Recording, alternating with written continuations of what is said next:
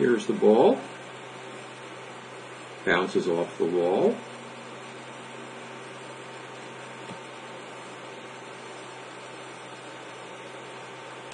Drag the wall.